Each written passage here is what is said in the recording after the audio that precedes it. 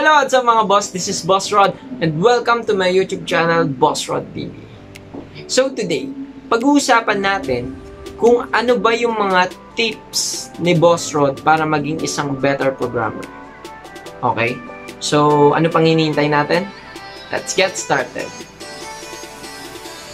So, ano ba yung first tip ni Boss Rod? So, ang first tip ni Boss Rod is be humble. Okay? So, bakit ko nasabing ayun yung pinaka-top uh, tip ko? Okay? Let's say, humble ka all the time. Uh, mapapractice mo, hindi lang sa pagiging better programmer yan. Magiging better person ka rin. Kasi, uh, I believe na better person equals a better programmer. Okay? The reason why this is my top tip, top 1 tip na maging better programmer, kasi once na uh, yung ego mo or yung pride mo is binaba mo, mas mas malaki yung chance na mas mag-grow pa. Kasi unlike kung mas mataas yung ego mo na hindi ka pumapayag na makorek ka sa mga mali mo or sa mga kailangan pang i-improve sa'yo, is yun nga, mas mababa yung chance mo na mag-improve. Okay? So, ako, ako talaga, for me personally, um, once na may mga nagko-correct sa akin, kasi hindi naman din ako ganun kagaling. So, may mga uh, kulang pa rin naman sa akin, may mga alam pa rin naman ako na alam lang ng iba pero ako hindi ko alam. So, na-appreciate ko kung nako-correct nila ako, na-appreciate ko kung kung ano pa yung i-improve ko. Ayun yung um, ayun yung pinaka first tip ko na kailangan i-apply nyo once na isa maging gusto nyo maging isang better programmer. I-apply nyo sa sarili nyo na maging humble kayo. Kasi, once na maging humble kayo mga boss, marami kayong makakausap na mga devs, na mga marami kayong makakausap mga devs, mga leads, software engineer, or kung ano-ano pa, marami kayong matututunan sa kanila. Unlike kung hindi ka humble, medyo medyo ano ka, medyo hambog, medyo mayabang ka, medyo nagmamarunong ka, for sure ang mangyayari sa inyo niyan, uh, magkakaroon ka lang ng kaaway, magkakaroon ka lang ng debate or anything, mga ganon. So, uh, hindi healthy yun mga boss. So, ayun yung first tip ko sa inyo para maging isang better programmer. Okay? So, next tip is improve your reading comprehension. Okay? So, ako personally, hindi ako ganun ka galing mag-English, no? Hindi ako magaling mag-English talaga, lalo na verbally. Hindi, nako, si Boss Rod, nako, kumbaga, mag-English ako, ano eh, Carabao English eh. Ganon. Ganon ako mag-English. Uh, but, nung nagsisimula pa lang ako, um, kasi ito yung weakness ko eh. Actually, yan yung weakness ko, English. Pero, nung nagsisimula pa lang ako, nag-aaral ako, okay, um, um, pinipilit ko na maintindihan yung English. So, kung may alam akong, may mga word akong hindi alam, uh, sinesearch ko yan. So, andyan dyan si paring Google, tinutulungan ako lagi niyan. And, Uh, napakahalaga nitong reading comprehension na to uh, kasi uh, matututo kayo kung paano ba um, mas madali kayong matututo sa programming, okay? And also itong reading comprehension na to, actually hindi lang siya pagiging better programmer na kailangan eh. Okay? Kailangan din siya talaga uh, lalo na sa na, sa industry ka na yung mga rules, yung mga Once na hindi kayo nakakaintindi ng English or hindi kayo uh, madalas nagbabasa, lalo na mga documentation sa development, okay, mahihirapan kayo mga boss. So, ayun yung isang tip din na kailangan nating i-improve sa sarili natin. Oh, sa akin, uh, actually, may mga pagkaamali rin naman ako na or meron akong mga ibang uh, nakakaligtaan. So, Uh, yung tip ko sa inyo, mag, pwede kayong magbasa-basa ng mga libro or manood ng mga na mga gusto nyong panoorin or basta may mga English subtitle or anything, books, yung mga ganon, para lang nahasap ng pakunti-kunti yung reading comprehension natin. Okay? Kasi makakatulong yun. Dati kasi ako talaga, uh, hindi talaga ako natututo sa documentation. So, YouTube, uh, sa YouTube lang ako. So, sinusundan ko yung code pero hindi ko naintindihan yung sinasabi kahit English. Ganun ako dati.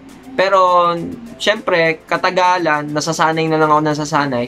At inaaral ko rin kung ano ba ibig sabihin. Si paring Google, lagi nyong itatap yan pag hindi nyo alam yung words. Um, pakunti-kunti, matututunan nyo kung paano magbasa-basa ng documentation, articles, or anything.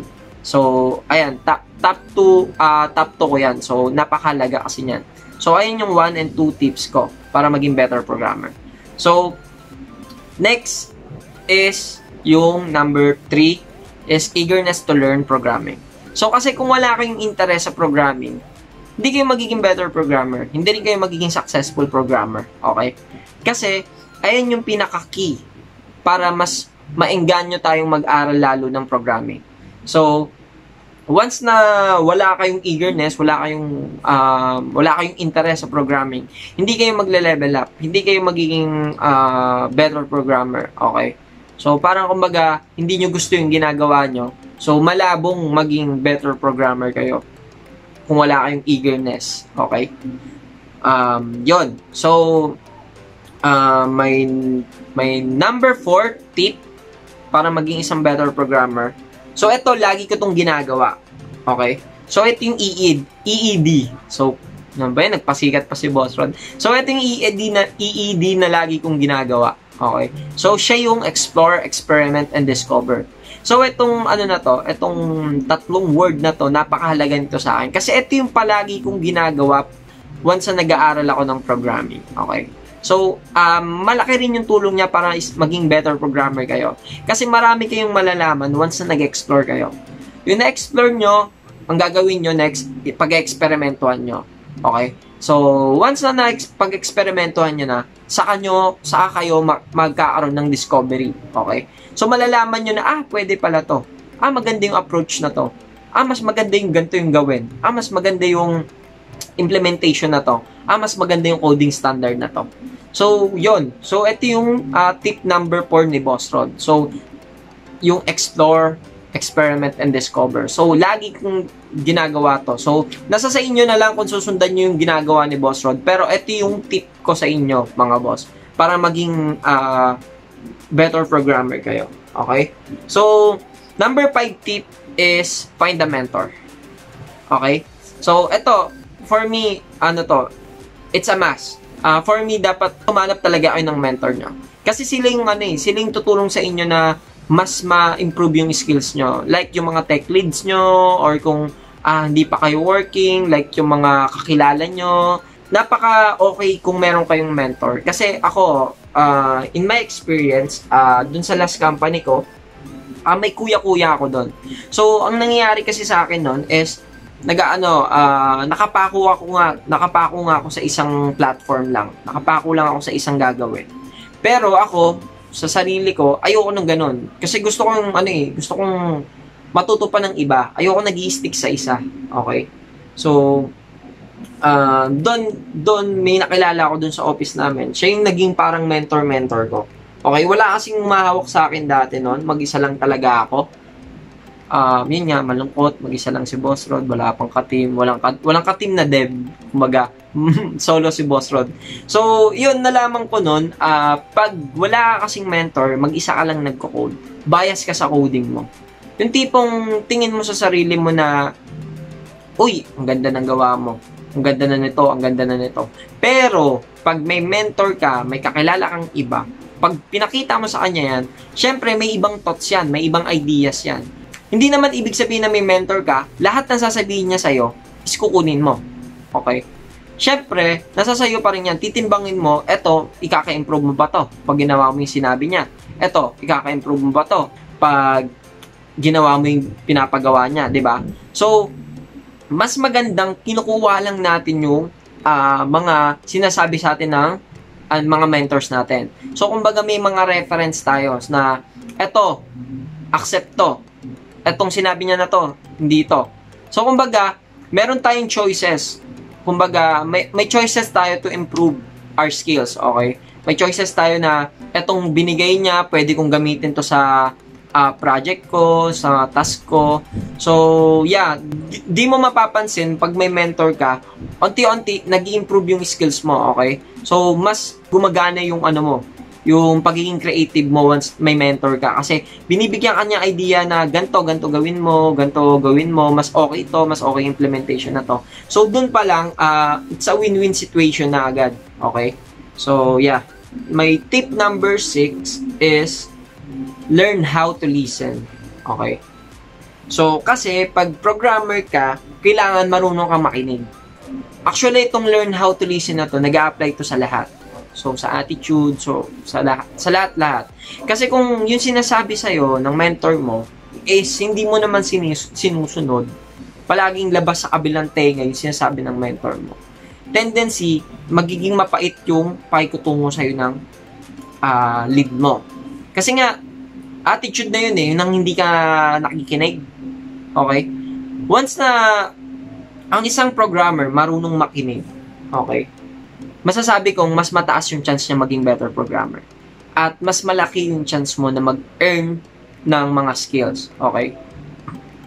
Mahirap kasi yung tipong sinasabihan ka ng sinasabihan ka ng lead, sinasabihan ka na ng mentor mo, pero ang nangyayari mas nagmamarunong ka pa or mas nag uh, mamagaling ka pa. Ang mangyayari sa iyo, hindi ka matututo. So kumbaga magi-stuck ka kung ano yung alam mo. And then mangyayari pa is puro debate, puro puro ay ganto ganto eh, mas okay ito, eh, mas okay ito. So learn how to listen mga boss. Okay? So isa yan sa mga, isa rin yan sa mga skills talaga na kailangan nyong i-improve. So, learn how to listen. So, yon So, my, my tip number 7 is practice good coding.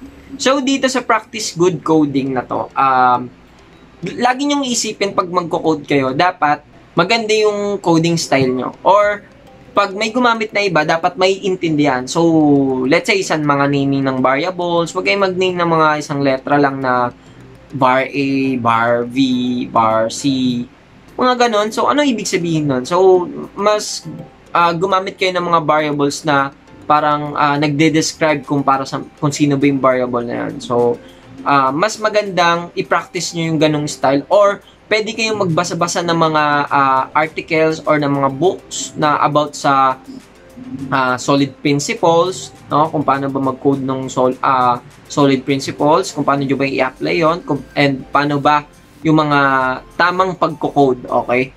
So, ayun. So, ayun yung uh, tip number 7 ni Boss Rod. So, my tip number 8 is, ayun nga, avoid debates or avoid shaming ng mga programming languages. Okay? So, ayun yung number 8 tips ko. Okay? Kasi, for me, yung mga debates na yan, yung mga uh, programming shaming, uh, nag-shame ng mga programming language, uh, for me, it's a nonsense, mga boss. Kasi hindi nyo naman ikakaano eh. Hindi naman kayo mag-earn ng knowledge dyan eh. Magkakaroon pa kayo ng kaaway, di ba? So, etong mga to, siguro, wag nyo siyang pansinin etong attitude na mahilig kayo makipag-debates, hindi nyo ikaka-better programmer yan. Okay? So, mas okay kung, yun nga, kung humble lang kayo na, okay, okay, na parang, uh, hindi naman big deal kung uh, makorek kayo or hindi naman big deal kung laitin yung language na ginagamit mo. So, um, yun. So, ayun yung iwasan nyo. So, hindi nyo, hindi nyo ikaka-improve yan, hindi nyo ikaka-grow yung mga debates or ng mga um, programming language shaming na yan. Mga nag-shame ng programming language. Okay. So, number 9 is mag-read kayo ng mga programming articles and documentations. Okay. So, ito maganda. Magandang nagbabasa-basa kayo ng mga articles marami kayong malalaman na, uy, mga tricks na to, uy, pwede pala to, uy, pwede pala to. Maraming magagandang articles, na, la, uh, may mga, ano rin, may mga magagandang website din about sa mga dev articles.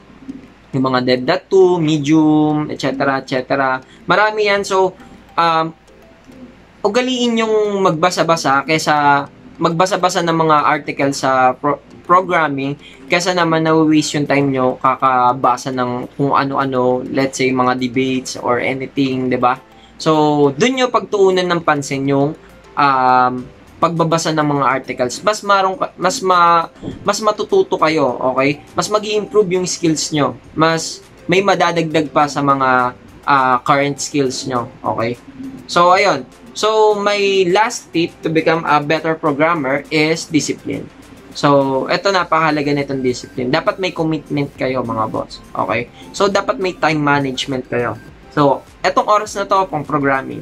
Hindi dapat, um, at saka dapat hindi laging nagwawagi yung uh, kung ano-anong pinagagawa nyo mga hindi naman nakakatulong sa inyo. Dapat, mas meron kayong priority time sa pagko-code, okay? So, meron kayong allotted time para para doon sa coding nyo. So, wag nyong ano, uh, wag nyo sayangin yung oras nyo sa mga nonsense na bagay. Okay? So, ayun. So, uh, to become a better programmer, dapat yun nga, uh, may time management kayo. So, dapat um, marunong kayong mag-calculate uh, ng time nyo na uh, okay, it's coding time, okay, it's um, uh, break time muna, So, dapat hindi, nyo, hindi nawawalan ng time sa inyo si programming. Okay? Lalo na kung nagsisimula pa lang kayo. So, so ayun. So, ito yung mga tips ni Boss Rod para maging isang better programmer. So, I hope um, nakatulong sa inyo tong video na to. And also, sana um, may ma-adapt kayo na kahit ilan may ma-adapt kayo sa mga nasabi ni Boss Rod. Okay? So, so sana may natutunan kayo sa video natin na to. And so so yun. So thank you for watching and see you on next video. Thank you mga boss. Bye bye.